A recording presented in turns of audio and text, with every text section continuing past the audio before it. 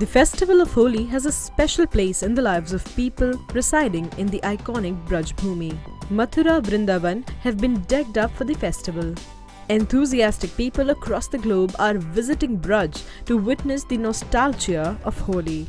This year had a special place in the lives of widows residing in Sri Dham Vrindavan. An NGO had organized Holi celebration at Mira Sahbhagini Ashray Sadan where these women played Holi with flowers and dedicated themselves in fond memory of Lord Krishna or Kanha.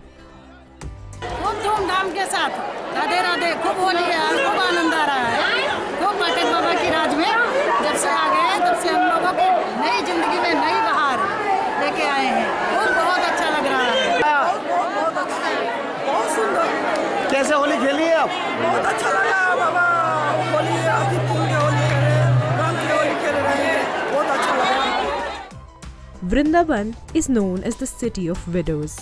Since ages, these women take refuge in these homes who are turned out by their near and dear ones.